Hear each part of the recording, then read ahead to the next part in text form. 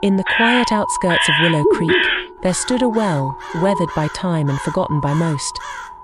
Legend had it that beneath its moss covered stones lay a tragic tale, whispered only in hushed tones by those brave enough to speak of it. It was said that many years ago, a young girl named Emily met her untimely demise at the hands of a merciless stranger, her innocence forever tainted by the darkness of the world.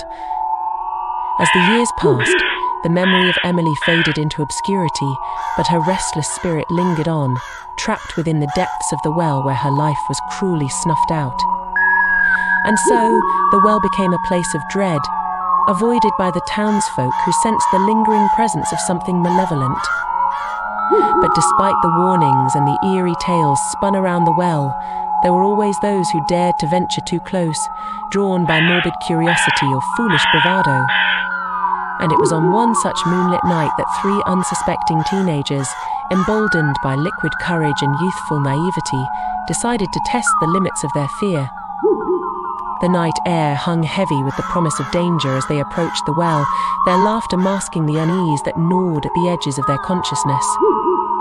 With trembling hands, they lowered a rusty bucket into the darkness below, the sound of its descent echoing eerily in the stillness of the night. And then, as if summoned by their intrusion, a soft whimpering filled the air, sending shivers down their spines.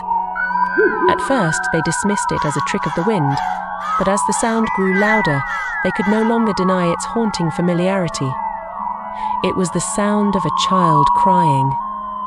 Their hearts pounding in their chests, the teenagers exchanged nervous glances, their bravado evaporating like mist in the morning sun. But before they could flee, a figure emerged from the shadows, her pale face streaked with tears and her eyes burning with a vengeful fury.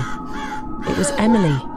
With a blood curdling scream, she lunged at them, her spectral form passing through their flesh as if it were air. And in that moment of terror, they understood the true horror of the well, its depths concealing not just the tragic tale of a lost soul, but the insatiable hunger of a vengeful spirit.